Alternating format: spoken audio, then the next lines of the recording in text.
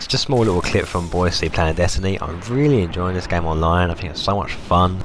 Um, I've got a lucky shot here on the right. I completely missed this guy.